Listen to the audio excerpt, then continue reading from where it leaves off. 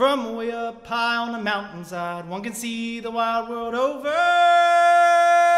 way up there is plenty to see. Regardless of one's race or creed, in our hearts we're all the same. Come, sisters, brothers, gather near, for we've come to share our worries. We fear what some folks have been saying about Latin Americans. The truth's been misconstrued.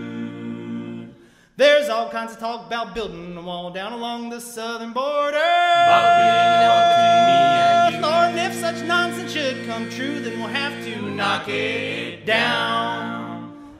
Buenas. Hola. I'm Martín Mauri from Buenos Aires. I'm Pau Barjau from Tepoztlán, Mexico. I'm Franco Martino, also from Buenos Aires. And I'm Joe Troop from Winston-Salem, North Carolina, and we are Che Apalache. Apalache.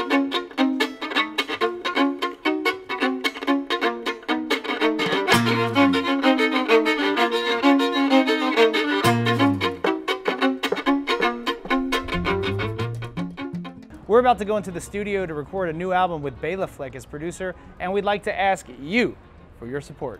I love these guys. This band really took me by surprise.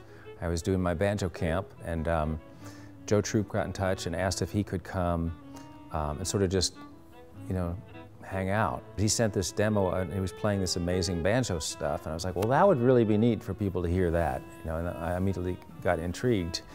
And I really didn't know much else about them, but I said, okay, let, let's just do it. Let's just have them come. It'll be fun. And they blew everybody away. The five string banjo is what brought us together. We all met Joe the same way. He started out as our banjo teacher. We fell in love with bluegrass as a genre and wanted to form a band, but you can't really do that with just four banjos.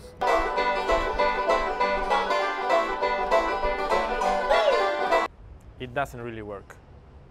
We started out as a traditional bluegrass group, which is a complete anomaly here in Buenos Aires. But that wasn't really authentic for us as a band living in Latin America. That's where the concept of Latin grass began. We wanted our music to reflect our experiences as a bluegrass band in Argentina.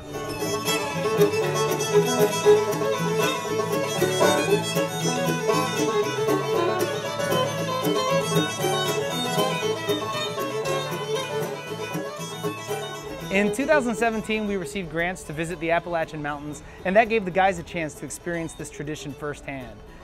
It was an amazingly life-altering experience, and Latin grass as a concept was really well received. Producing is one of those things that I only do when I can't not do it, and it's usually a labor of love. And this is this is one of those situations where, yeah, there's other things I should be doing, but I just really want to do this project because I believe in the guys.